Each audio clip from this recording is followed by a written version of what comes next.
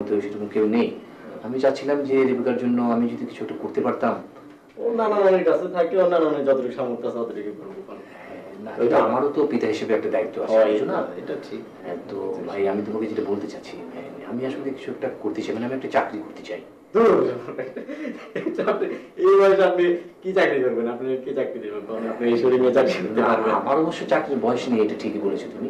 কিন্তু তারপরও তো অপরিচিত লোক হয়তো বুঝতে পারবে না কিন্তু পরিচিত লোকজনের কাছে গিয়ে যদি আমি বলি আমার এই কাজের সন্ধানে যদি চাকরি একটা চাই তাহলে ওরা নিশ্চয়ই আমার কথা রাখার চেষ্টা করবে। হবে। তোমাকে যদি আমি বলি যে ভাই আমাকে একটা চাকরি দাও তুমি মানা করতে পারবে? বলো। না তা পারব না কিন্তু আর তোমার তো একটা চমৎকার অফিস দেখলাম বেশ গুছিয়ে তুমি বসছো। হ্যাঁ, বেশ বড়সড় একটা অফিস তোমার।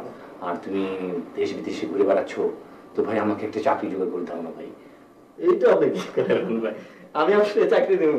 জুয়েল ভাই বললে আমার কি করব কোন না না ঠিক আছে তোমার বড় ভাই আমার বন্ধু জুয়েল তো আসলে গ্রামেই থাকছে ও তো আর ঢাকায় নেই। আর তুমি তো জানোই আমার তিরিশ বছরের একটা চাকরির অভিজ্ঞতা আছে। হ্যাঁ, আমাকে যদি মানে আমার বস ডাকতে হয় আমাকে যদি আমার স্যার আমাকে। কারণ কি তোমার মানে এই আমার উপকারটা যদি তুমি করো ভাই তাহলে আমি জন্য হয়তো কিছু করতে পারব। না আপনি চাকরির কথা কইছেন আমি আপনি তো কালকে যাবেন নাকি? কালকে যাবেন না? সেটা অবশ্যই যাব।